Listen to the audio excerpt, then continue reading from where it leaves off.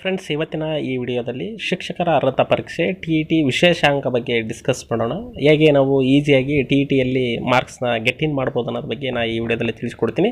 ಅದರ ಜೊತೆಗೆ ಸಿಲೆಬಸ್ ಕೂಡ ಅನಾಲಿಸಿಸ್ ಮಾಡೋಣ, ಯಾವ ಸಬ್ಜೆಕ್ಟ್ ಯಾವುದಿರುತ್ತೆ ಎಷ್ಟು ಮಾರ್ಕ್ಸ್ ಇರುತ್ತೆ ಅಂತ. ನನ್ನ ವಿಡಿಯೋಸ್ ನಿಮಗೆ ರೀಚ್ ಆದರೆ ಲೈಕ್ ಮಾಡಿ ಶೇರ್ ಮಾಡಿ ಕಮೆಂಟ್ ಮಾಡಿ ಸಬ್ಸ್ಕ್ರೈಬ್ ಆಗೋದು ಮಾತ್ರ ಮರಿಬೇಡಿ. ನನ್ನ ಮೂರು ಅಪ್ಡೇಟ್ಸ್ ನಿಮಗೆ ರೀಚ್ ಆಗುತ್ತೆ.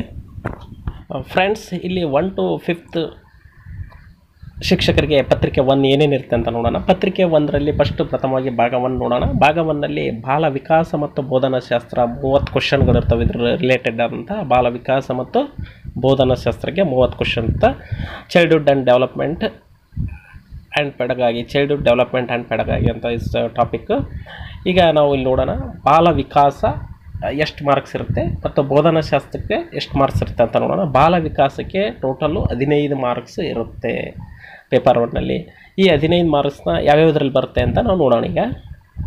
ಚೈಲ್ಡ್ಹುಡ್ ಡೆವಲಪ್ಮೆಂಟ್ ಆ್ಯಂಡ್ ಪಿಡಗಾಗಿಯಲ್ಲಿ ಹದಿನೈದು ಮಾರ್ಕ್ಸ್ ನೋಡೋಣ. ಒಂದನೇದು ವಿಕಾಸದ ಪರಿಕಲ್ಪನೆ, ಕಲಿಕೆ ಮತ್ತು ಅದರ ಸಂಬಂಧ, ಅದರ ಬಗ್ಗೆ ನೋಡ್ಕೊಳ್ಳಿ. ನೆಕ್ಸ್ಟು ಮಕ್ಕಳ ವಿಕಾಸದ ತತ್ವಗಳಿವೆ. ಅನುವಂಶೀಯತೆ ಮತ್ತು ಪರಿಸರದ ಪ್ರಭಾವ ನೋಡ್ಕೊಳ್ಳಿ. ಸಾಮಾಜೀಕರಣ ಪ್ರಕ್ರಿಯೆ, ಅದರಲ್ಲಿ ಸ್ವಾಭಾವಿಕ ಮತ್ತು ವಿಶ್ವ ಮತ್ತು ಮಕ್ಕಳ ಬಗ್ಗೆ ನೋಡ್ಕೊಳ್ಳಿ. ಅದರಲ್ಲಿ ಶಿಕ್ಷಕರು, ಪಾಲಕರು ಸಹಪಾಠಿ ಸಮಾಜೀಕರಣ ಪ್ರಕ್ರಿಯೆಯಲ್ಲಿ ಇವರೆಲ್ಲ ಬರ್ತಾರೆ. ಅದನ್ನು ನೋಡ್ಕೊಳ್ಳಿ.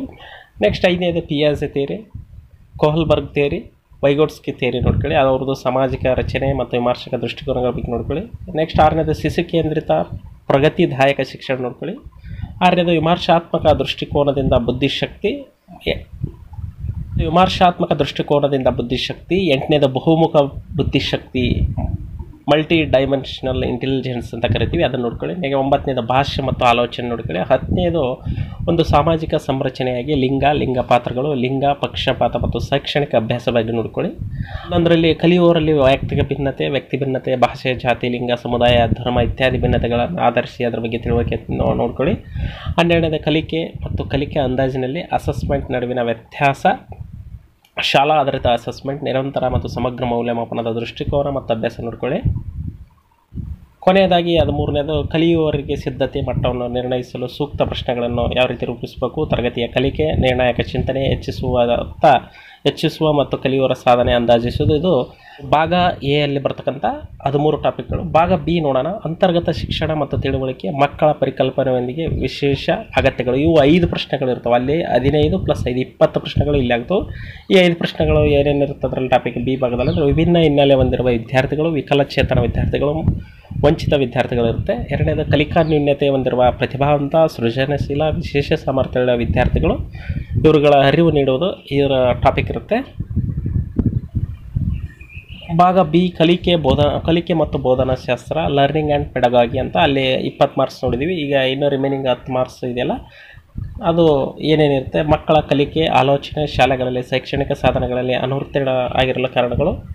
ಎರಡನೇದು ಬೋಧನಾ, ಕಲಿಕೆ ಮೂಲ ಪ್ರಕ್ರಿಯೆಗಳು, ಕಲಿಕೆಯ ಮಕ್ಕಳ ಯೋಜನೆಗಳು, ಕಲಿಕೆಯ ಒಂದು ಸಾಮಾಜಿಕ ಚಟುವಟಿಕೆ ಇದರ ಬಗ್ಗೆ ಇರುತ್ತೆ, ವಿದ್ಯಾರ್ಥಿಗಳ ಸಮಸ್ಯೆ ಬಗ್ಗೆ ಇರುತ್ತೆ, ಮಕ್ಕಳಲ್ಲಿ ಕಲಿಕಾ ಪರ್ಯಾಯ ಭಾವನೆ ನಿರೂಪಣೆಯ ಬಗ್ಗೆ ಇರುತ್ತೆ, ಐದನೇದು ಅರಿವು ಮತ್ತು ಸಂವೇಗಗಳ ಬಗ್ಗೆ ಇರುತ್ತೆ, ಆರನೇದು ಪ್ರೇರಣೆ ಮತ್ತು ಕಲಿಕೆ, ಏಳನೇದು ಕಲಿಕಾ ಪೂರಕವಾದ ಅಂಶಗಳು ವೈಯಕ್ತಿಕ ಪರಿಸರದ ಬಗ್ಗೆ, ಇಷ್ಟು ಬೋಧನಾ ಶಾಸ್ತ್ರ ಮತ್ತು ಬಾಲ ವಿಕಾಸದಲ್ಲಿ ಬರ್ತಕ್ಕಂಥ ಕಾನ್ಸೆಪ್ಟ್ಗಳು ನೆಕ್ಸ್ಟ್ ಭಾಗ ಒನ್ನ ನೋಡಿದ್ವಿ. ಈಗ ಭಾಗ ಟೂ ಬಗ್ಗೆ ನೋಡೋಣ. ಭಾಗ ಟೂ ಭಾಗ ಟೂ ಅಲ್ಲಿ ಇರ್ತಕ್ಕಂಥ ಬಾ ಸಬ್ಜೆಕ್ಟು ಭಾಷೆ ಒನ್ ಪೆಡಗಾಗಿ ಕನ್ನಡ ಅಥವಾ ಬಡ ಪೆಡಗಾಗಿ ಇಂಗ್ಲೀಷ್ ಭಾಷೆ ಒನ್ ಪತ್ರಿಕೆ ಒಂದು ಇದರಲ್ಲಿ ಇರ್ತಕ್ಕಂಥ ಮೂವತ್ತು ಕ್ವಶನ್ಗಳು ಇರ್ತವೆ. ಅದು ನೋಡೋಣ. ಹದಿನೈದು ಕ್ವಶನ್ ಎದ್ರ ಬಗ್ಗೆ ಇರುತ್ತಪ್ಪ ಅಂದ್ರೆ ತಿಳಿದುಕೊಳ್ಳುವಿಕೆ, ಗ್ರಹಿಕೆ ಅಥವಾ ಕಾಂಪ್ರಿಯೇಷನ್ಸ್ ಅಂತ ನಾವು ಕಾಂಪ್ರಿಯೆನ್ಷನ್ ಅಂತಂದೇಳಿ ನಾವೇನು ಕರಿತೀವಿ?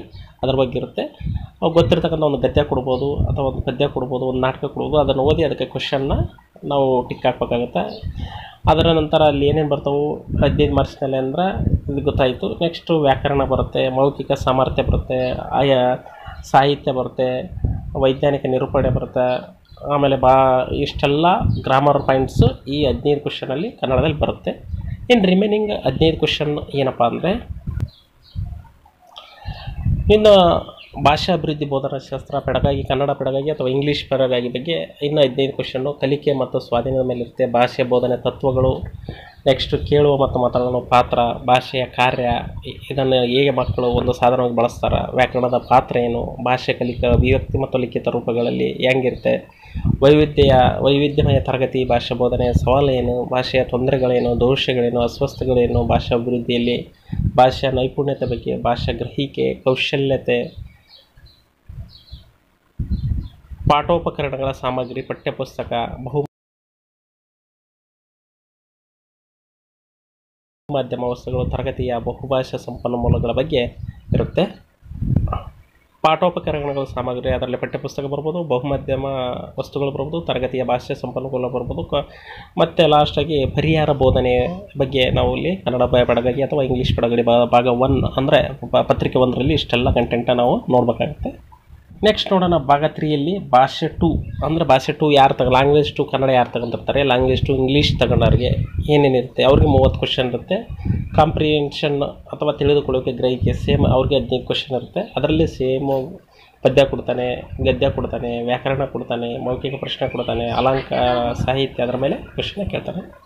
ಇಲ್ಲಿ ಈಸಿಯಾಗಿ ಗೆಟ್ಟಿಂಗ್ ಮಾಡೋಕ್ಕೆ ಹದಿನೈದು ಮಾರ್ಕ್ಸ್ಗಳು ಕಾಂಪ್ರಿಯೆನ್ಷನ್ ಅಥವಾ ಗ್ರಹಿಕೆ ಅಥವಾ ತಿಳಿದುಕೊಳ್ಳೋಕೆ ಮೇಲೆ ಹದಿನೈದು ಕ್ವಶನ್ ಇರ್ತಾವೆ. ಇನ್ನು ರಿಮೈನಿಂಗ್ ಹದಿನೈದು ಕ್ವಶನ್ ಎಲ್ಲಿರ್ತಾವೆ ಅಂದರೆ ಭಾಷೆಯ ಅಭಿವೃದ್ಧಿ ಬೋಧನಾಶಾಸ್ತ್ರ ಪೆಡಗಾಗಿ ಮೇಲೆ ಇರ್ತವೆ. ಅಲ್ಲಿ ಸೇಮ್ ಪೇಪರ್ ಒನ್ನಲ್ಲಿ ಯಾವ ರೀತಿ ನೋಡಿದ್ವಿ? ಇಲ್ಲಿ ಕಲಿಕಾ ಸ್ವ ಮತ್ತು ಸ್ವಾಧೀನ, ಭಾಷೆ, ಬೋಧನೆ ತತ್ವಗಳು, ಕೇಳುವ ಮತ್ತು ಮಾತನಾಡುವ ಪಾತ್ರ ವೈವಿಧ್ಯಮಯ ತರಗತಿ ಭಾಷಾ ಬೋಧನೆಯ ಸವಾಲುಗಳು, ಭಾಷೆಯ ತೊಂದರೆ, ದೋಷಗಳು, ಅಸ್ವಸ್ಥಗಳು, ಭಾಷೆಯ ನೈಪುಣ್ಯತೆ, ಭಾಷೆಯ ಗ್ರಹಿಕೆ ಪಾಠೋಪಕರಣ ಸಾಮಗ್ರಿ ಪರಿಹಾರ ಬೋಧನೆ, ಸೇಮ್ ಇದು ಕಾನ್ಸೆಪ್ಟ್ ಪೇಪರ್ ಒನ್ನಲ್ಲಿ ಹೆಂಗಿದೆ ಪೇಪರ್ ಟೂ ಅಲ್ಲಿ ಅದೇ ರೀತಿ. ಇನ್ನು ಪಾರ್ಟ್ ಫೋರ್ ಗಣಿತದ ಬಗ್ಗೆ ನೋಡೋಣ, ಮೂವತ್ತು ಕ್ವಶನ್ ಇತ್ತು ಅದು ವಿಷಯಕ್ಕೆ ಅದು ಕ್ವಶನ್ ಗಣಿತ ಇರುತ್ತೆ ಆಕೃತಿ, ನಮ್ಮ ಸುತ್ತಮುತ್ತ ಘನವಸ್ತುಗಳು ಸಂಖ್ಯೆಗಳು, ಗುಣಕಾರ, ಮಾಪನ ಟೈಮ್ ದತ್ತಾಂಶ ನಿವಾರಣೆ ಹಣ, ವ್ಯವಕಲನ, ಭಾಗಕಾರ, ತೂಕ, ಗಾತ್ರ ಪ್ಯಾಟರ್ನ್ಸ್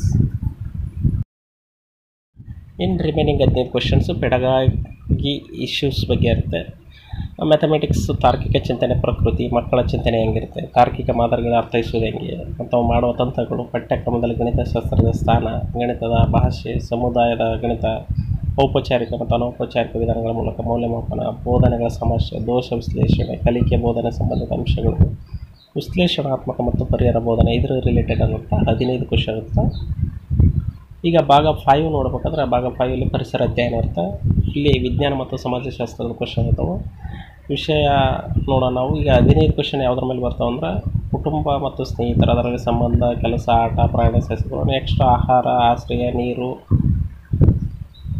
ಪ್ರಯಾಣ, ನಾವು ಮಾಡುವ ಮತ್ತು ರಚಿಸುವ ವಸ್ತುಗಳು. ಇದು ಹದಿನೈದು ಕ್ವಶನ್ ಮತ್ತು ಇನ್ನು ರಿಮೈನಿಂಗ್ ಹದಿನೈದು ಕ್ವಶನ್ಸು ಪೆಡಗಾಗಿಕಲ್ ಇಶ್ಯೂಸ್ ಅಂತ ಬರುತ್ತೆ. ಅದು ಪರಿಸರ ಅಧ್ಯಯನದ ಪರಿಕಲ್ಪನೆ, ಅದರ ವ್ಯಾಪ್ತಿ, ಅದರ ಸಮಗ್ರ ಪರಿಸರ ಅಧ್ಯಯನ ಪರಿಸರ ಅಧ್ಯಯನದ ಹಾಗೂ ಪರಿಸರ ಸ ಶಿಕ್ಷಣ, ಕಲಿಕೆ ತತ್ವಗಳು ಹೆಂಗಿರ್ತವೆ? ಪರಿಕಲ್ಪನೆಗಳ ಪ್ರಸ್ತಾಪ, ವಿಜ್ಞಾನ, ಸಮಾಜ ವಿಜ್ಞಾನದ ಸಂಬಂಧ ಮತ್ತು ವ್ಯಾಪ್ತಿ, ಚಟುವಟಿಕೆಗಳು ಚಟುವಟಿಕೆಗಳು, ಪ್ರಯೋಗಶೀಲತೆ ಮತ್ತು ಪ್ರಾಯೋಗಿಕ ಕೆಲಸ, ಚರ್ಚೆ, ಸಿ ಸಿ ಹಿ ಯಾವ ಥರ ಇರುತ್ತೆ ಬೋಧನೆ ಮತ್ತು ಸಾಧನಗಳು ಹೆಂಗಿರ್ತವೆ? ಸಮಸ್ಯೆಗಳು ಯಾವ ಥರ ಇರ್ತವೆ ಅನ್ನೋದು ಇದು ಪರಿಸರ ಅಧ್ಯಯನ ಮತ್ತು ಸಮಾಜಶಾಸ್ತ್ರದಲ್ಲಿ ಬರ್ತಕ್ಕಂಥ, ವಿಜ್ಞಾನ ಮತ್ತು ಸಮಾಜಶಾಸ್ತ್ರ ಬರ್ತಕ್ಕಂಥ syllabus. Thank you guys thanks for watching like comment subscribe for more videos Yeah.